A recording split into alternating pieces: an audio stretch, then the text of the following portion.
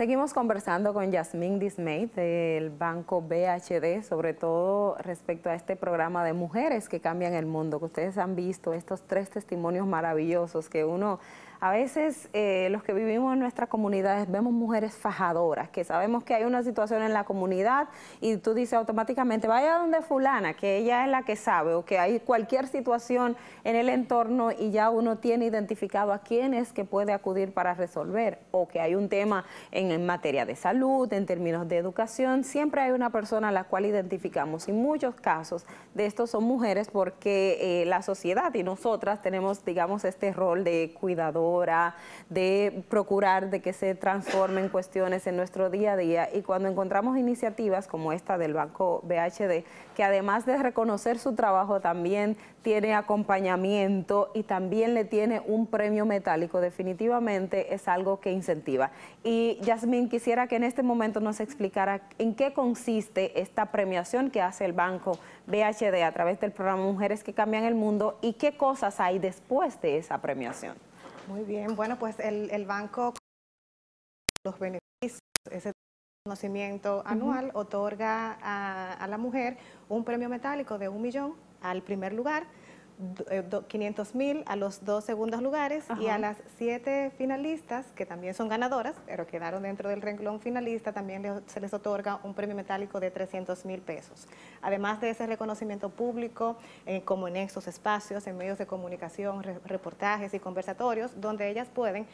dar a conocer sus iniciativas y sus resultados. Y lo más importante, y es lo que garantiza y nos permite a nosotros apoyar para garantizar la sostenibilidad de sus iniciativas, es un programa de acompañamiento, asesoría y formación que tenemos para cada una de ellas y para quienes le acompañan en su labor social. Esto es capacitaciones, asesorías personalizadas, asesorías técnicas, que muy bien las hacemos como parte de los especialistas voluntarios que trabajan temas de educación financiera, emprendimiento, créditos productivos,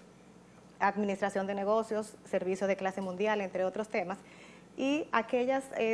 iniciativas que requieran de un apoyo técnico que como parte de nuestra naturaleza, no está a nuestro alcance, pues con los centros pymes, con quienes tenemos alianza y acuerdo, la acompañamos para recibir estas eh, capacitaciones y asesorías. Es decir, que además de ese reconocimiento, el banco sigue incentivando a que esa, eh, a ese proyecto o a esa labor que está llevando a cabo esa mujer tenga sostenibilidad en el tiempo. Tenga sostenibilidad en el tiempo y que pueda fortalecer sus negocios. Cuando aplican para, son emprendimientos, cuando son empresas y de cara a las fundaciones y a las asociaciones, formalizarlas, porque tienen muchos retos desde el punto de vista del fortalecimiento institucional y nosotros buscamos que ellas puedan potenciar sus iniciativas desde el punto de vista administrativo, gerencial, cobranza, venta y de negocios. Por ejemplo, en este momento tenemos la feria Expo Pyme Mujer y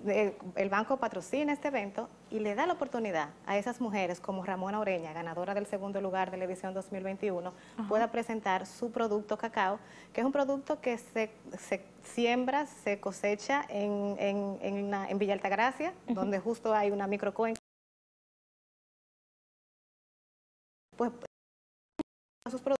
le va a permitir comercializar no solamente en República Dominicana, sino también en el extranjero. O sea que ese acompañamiento va un poco más, más allá de, un primer momento. ¿Qué tiempo dura, o sea, en ese proceso de acompañar a estas mujeres? Y si ustedes están acompañando, por ejemplo, el caso de la primera ganadora que tuvo eh, este proyecto de Mujeres que Cambian el Mundo, que ya hace unos ocho o siete años de eso, o sea, ¿qué, ¿cuánto tiempo se toma esta iniciativa de Mujeres que Cambian el Mundo en acompañar a esas que son reconocidas no solo con el premio del primero o el segundo lugar, sino que quedaron dentro de las finalistas.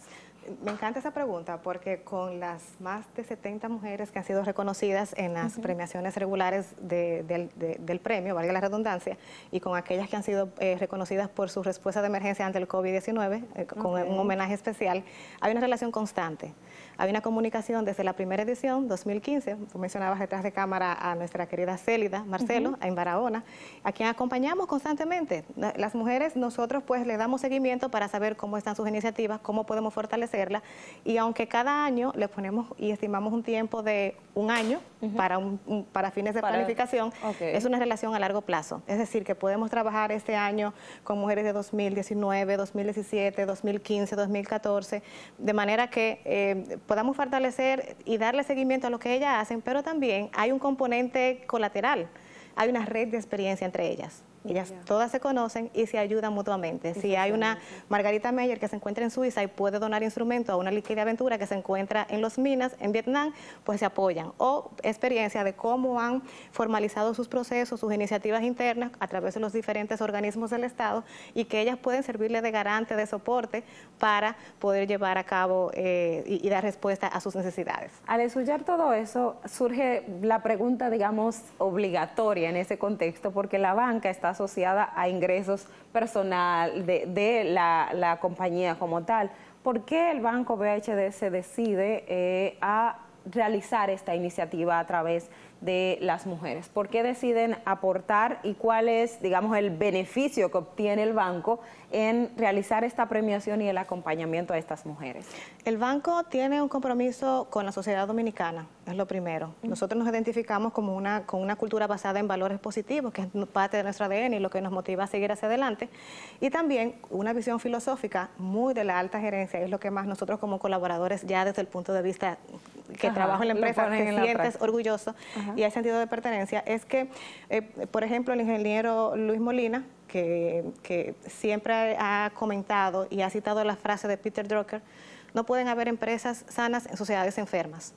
Debe existir el éxito económico y el éxito humano. Y nosotros, como una forma de operar y de poder responder a todas las demandas globales y locales, una de ellas es apoyar a la mujer que,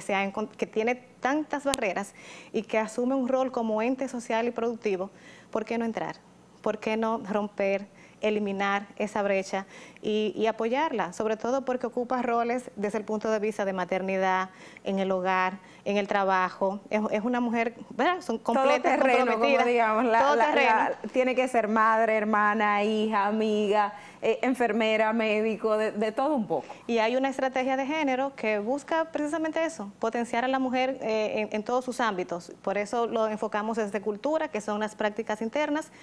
clientes, que son esos productos y servicios que van dirigidos a las clientas, que responden a las necesidades que nosotros identificamos a través de un estudio que realizamos en 2012 para apoyar a la mujer en lo que le hace falta. Y bueno, pues el componente social es que además de que tenemos tantos roles, me incluyo, eh, ¿por qué no reconocer eso que tú haces en beneficio del desarrollo del país? Por lo que eso es parte de una cultura transversal a, toda la organización y es un compromiso como entidad que hemos asumido eh, con, con el desarrollo sostenible, pero sobre todo con la mujer dominicana, que, podemos decir a la mujer maravilla. En eh, estas historias que hemos visto, algunas maestras, otras líderes sociales, eh, otras que están trabajando con organizaciones no gubernamentales, es decir, ONG, probablemente hay alguna mujer que diga, bueno, yo no tengo una ONG, yo no soy una lideresa social, pero soy una artista digamos, en ese contexto. También mujeres que se destaquen en esta área y que estén aportando, ¿pueden aplicar a este premio Mujeres que Cambian el Mundo? Claro que sí. Cualquier mujer que se encuentre en, los diferentes ámbitos, en los diferentes sectores, y no necesariamente tiene que liderar o estar dentro de una fundación para contribuir con la comunidad, con su entorno, para transformar vidas, cambiar familias, eh, se, se les reconoce. Y de hecho, si quieren, pues convertirse o llevar su iniciativa a otro nivel, ya sea una asociación, a una fundación, el banco está ahí para apoyarles, por lo que invitamos a todas las mujeres a que si están haciendo cambios, si, si tienen iniciativas en sus comunidades, en las zonas donde se desempeñan, rurales, urbanas o en el exterior, que son dominicanas, pues que puedan postularse y nosotros pues eh, a través de ese proceso de, reconocimiento le acompañamos para que sea posible esa meta de formalizar ese, ese proyecto o esa fundación o asociación por la que quiere seguir garantizando el bienestar de muchas familias. Reiteramos entonces que el plan plazo para presentarse, para postularse ha sido extendido hasta el próximo 2 de junio. Hasta el próximo 2 de junio pueden depositar las postulaciones en todas nuestras sucursales, las sucursales que les sean más cercanas, pueden incluso adquirir el formulario de postulación y las bases también por medio de nuestras sucursales o nuestro portal web www.mujeresquecambianelmundo.com.do hacer la postulación en línea o descargar las bases que de por sí ya trae su formulario para que puedan postular y que sigamos reconociendo a tantas mujeres en nuestro país. Cada año es un orgullo poder seleccionar 10 mujeres.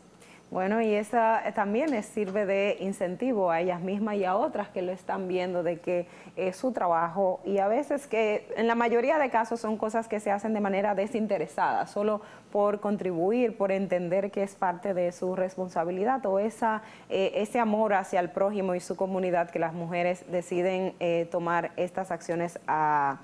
en favor de, los demás. Así que con este premio, eh, que es un reconocimiento a la mujer dominicana, pues le incentivamos a usted a que participe, que puede hacerlo, no importa si sabe leer o no sabe leer, si sabe escribir o no sabe escribir, que pueda, tenga eh, habilidades o no, va a recibir el acompañamiento para hacerlo, o usted que conoce a una mujer que entiende que eh, puede llenar el perfil de una de estas mujeres que han cambiado y que cambian el mundo con su accionar día a día, pues le invito a que lo hagan porque es un bonito reconocimiento. Yasmín Dismay, muchísimas gracias por acompañarnos en el día de hoy, por hablar de este tema y que en este espacio pues le continuaremos dando, digamos, promoción y, e invitar a la gente a que lo sigan haciendo. Yo quiero de así, de súper rápido, porque el tiempo en televisión es bastante eh, corto, pues referirme a que en la mañana de hoy precisamente la Asociación Dominicana de Profesores pues tiene una protesta frente a el Ministerio de Educación de la República Dominicana, donde eh, en estos momentos están pidiendo reivindicaciones. Ustedes saben que en la tarde de ayer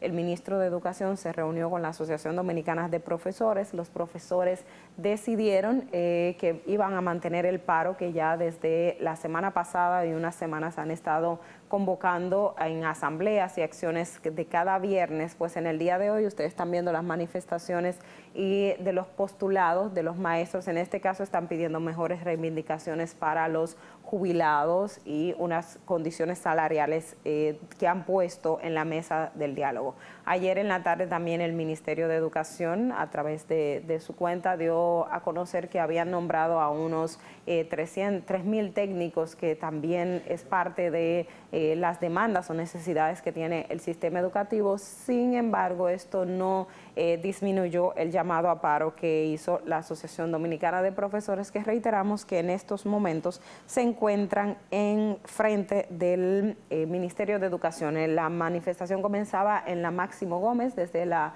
Máximo Gómez eh, con Kennedy, si mal no recuerdo, hasta el Ministerio de Educación, donde ellos pues hacían o están haciendo los llamados y las consignas de cara a las demandas que hace los profesores para su gremio. Así que nosotros nos mantenemos al pendiente y dando seguimiento a este tema que ustedes saben que también es de interés nacional. Pero no quiero irme con temas negativos, sino que quiero retomar un aspecto positivo, ya que hablábamos de mujeres que cambian el mundo en nuestra entrevista. Y precisamente este domingo se conmemora el Día de las Madres. Este es un día eh, en donde a uno, y después de que se es madre, entiende más el significado de esta palabra. Usted que tiene a su mamá o que la tuvo, ya sea biológica o no biológica, porque el ser madre no implica necesariamente que usted haya engendrado y eso siempre lo voy a lo voy a, decir porque conozco mujeres maravillosas que no han engendrado, pero sí son madres de miles y de decenas de niños en República Dominicana y en el mundo, que al igual